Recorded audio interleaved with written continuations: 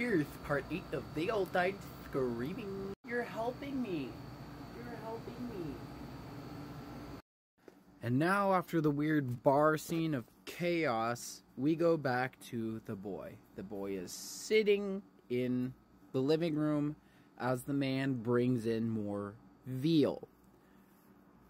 A mom and a daughter. The man tried to snatch the young daughter, but also got the mom as well after when he threw the girl in the truck. The mom came out, mama bear style, and the man brought her here as well. Now, the man makes it pretty clear that he is not attracted or aroused by human women, and his wife is the sow out back. At this point in the story, the boy is in his. The boy? The boy? The boy is in his teens now. He's been there for years. He's kind of been brainwashed into living this life with the man. The man is now technically his paw, and the boy is learning how to kidnap veal. I believe the boy is about 12 at this point. and when the veal are brought in the house, they are stripped naked. And uh, as he was witnessing the mother being stripped naked, he liked what he saw, and the the man noticed this, and he's like, "Ah, oh, boy, oh, you never had a lady before, have you?" Hmm. The man cracked a couple creepy jokes to this literal child, and um, uh, it's also noted that the man never bought the boy new clothes since he was taken. So since he was like six years old, he's worn the same outfits.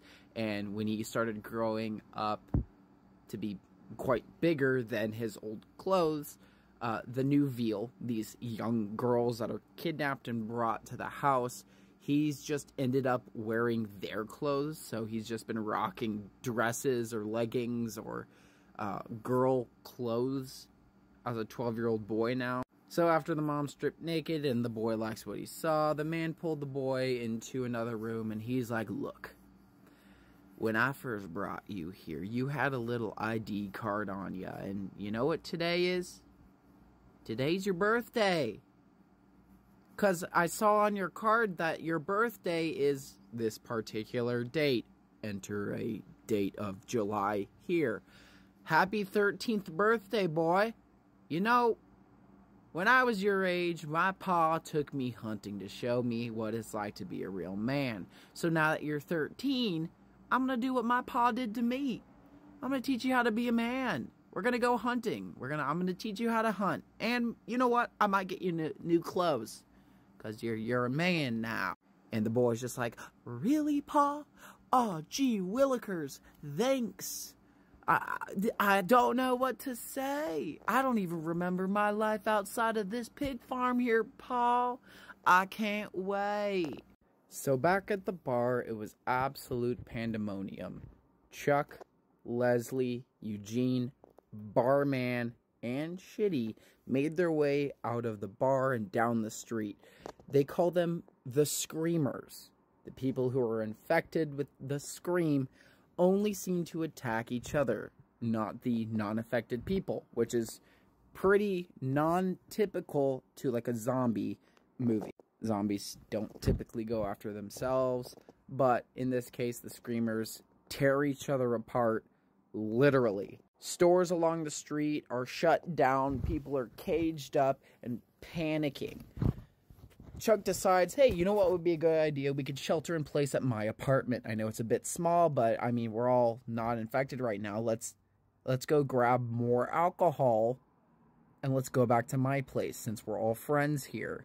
So they made their way down the street, wheeling shitty with them, and they go to a local small family-owned liquor store. An Indian man named Fidel owns the place and he already caged up the area he's trying to close up shop, no, noting the, the budding virus in the area. So when they got there, they knocked on the door and they're like, Fidel, hey, buddy, uh, we just want to spend some money. Uh, I know it's a bit chaos out there, and I promise none of us are infected, but Fidel wasn't having any of it. He stuck a, a large um, pew pew large shotgun out the window, pointing it at all their faces, and he's like, I understand what's going on out here, and I need to keep myself safe. And typically, when things go bad, people start robbing stores, and I have the goods that people want. So if you make a sharp movement, I'm blowing your freaking heads off. They're like, whoa, whoa, whoa, whoa, whoa, whoa, wait, wait, wait, wait, wait, wait, wait. Hey, hey, buddy, we're friends. We like you. You like us. We're in here all the time. All we want is a couple bottles of this brand of booze and a couple bottles of this brand of booze. Uh, can you do that for us? They held out the dollar bills that they had in their pockets, and Fidel uh, handed them bottles. And before they handed the cash over, I guess Eugene made a sharp movement, and Fidel blew his head off. Yeah, Eugene got shot in the face. But Eugene is still alive miraculously. He just has a massive head wound.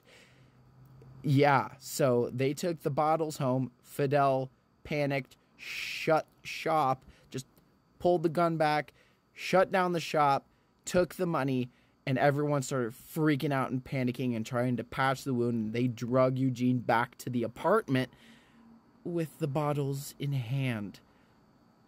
Yeah.